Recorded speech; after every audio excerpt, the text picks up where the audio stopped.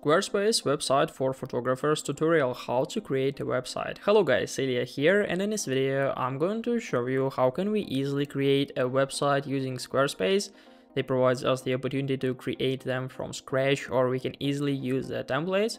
So here we are on squarespace.com. We can find some information about their products, templates and resources of course.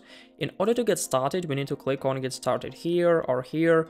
If you have an account, we can just simply click on log in. So we can create an account with email or Gmail, Apple or Facebook. In my case, I'm going to use one of my Gmail accounts. So it's pretty easy. And here we are on our homepage with dashboard and domains where we can manage our websites and domains. So in order to create a website as a photographer, so maybe we can place them our work or something like this, we just simply need to click on create a website and we'll come to our page. We can easily click on build your own template and we'll start from scratch and we can easily like create everything we need but I think that much easier to create it from template so we can easily customize, do everything we need. So I honestly suggest you to try firstly customize the template. So we can find a lot of stuff here. We can filter them into different times like online store, portfolio, membership, blog, scheduling, or one page. And we can easily switch between different topics like art, design, photography, health and beauty, personal and CV, entertainment, food, community and non-profits, and so on.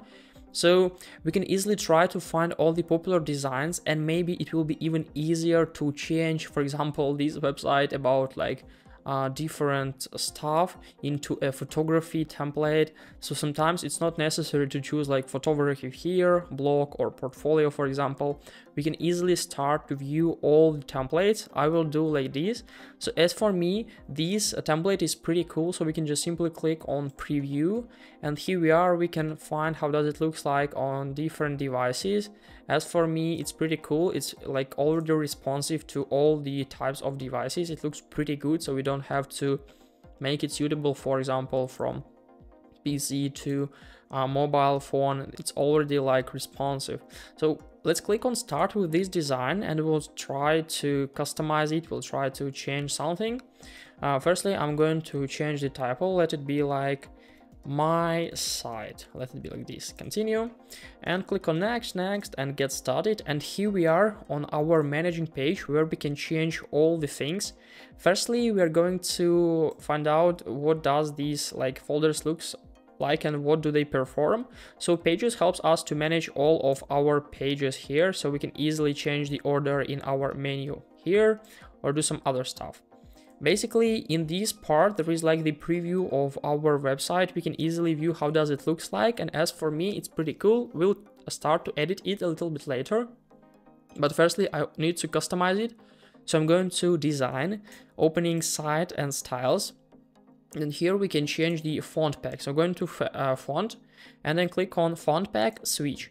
And as you can see, we can change the font uh, amount on our website. And as for me, it's pretty cool. We can customize all the uh, like uh, fonts at once. So I'm just going to find something which is suitable as for me. I think, yeah, this one is pretty cool. So when everything is done, just simply click on save in the left top corner and yeah, in a few seconds, all the fonts will be successfully changed. We may take, it may take a little time, depends on their like server's capacity or something like this. So let's go back to site styles and I also like to change the colors. So I'm going to click on edit palette and we can easily change the wall palette of our website. Also very cool feature if you are going to customize the template, uh, if you want to make it like um, like our own template. Yeah, I think this page is pretty good as for the website. So let's click on it here and just click on save once more. I'm going to go back, site and styles, and I'm going to close this stuff. And we are moving to our editor page where we can manage all the elements on our website. So on Squarespace, every single section is like contains some elements. We can add different sections by simply clicking right up here. As you can see, we can add something like intro or some other stuff. So let's try something, uh, maybe people. So if we are going to maybe add our team or our models, so it may look like this. So I'd like to move it down. So just simply click on it here to make it after our like intro or preview. And we can edit content, edit section, or just duplicate, make it like favorite. So if you click on edit content, we can find a lot of stuff. We can option to show images, we can turn it off we can show title, show body, manage the content, we can edit it in terms or we can delete them. So as you can see, it's pretty cool. We just simply click on add and it was successfully added as right up here. So we can just add the image, add the description, add the name. And in this case, we can easily change every single stuff. For example, let's change this, this name here. So I'm going to change it for helper man, maybe like I don't know, works, let it be like this. We can make it bold, make it italic, resize the text, we can make it a link. So in my case, I'm going to do like this. I like also to add the block about like button. So I'm going to move it right up here and this one move right up here. So for example, uh, we can change the text, let it be like buy photo set. Something like this. We can change the design, let it be like firstly feed also I'd like to make it as a secondary button and now it looks like this as for me pretty pretty cool. So here we are. This is how we can for example edit the buttons here. Uh, we can also like replace every single text. So we can manage these photos here. So I'm going to click on this click on replace and I'm going to browse some stock images. I think like it will be pretty cool. Add image. And now our image will be successfully replaced and it will be edited as I need already.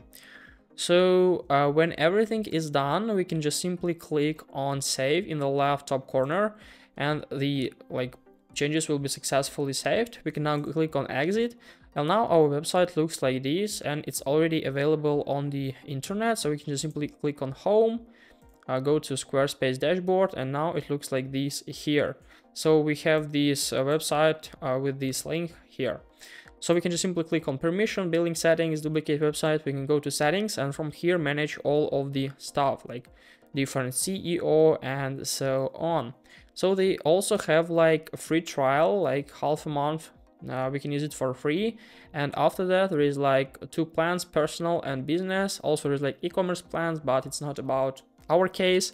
So $60 per month and 23, we can find all the differences right up here. And as for me, I think it's better to try it for free. And after that, you can easily decide uh, what plan is more suitable as for you.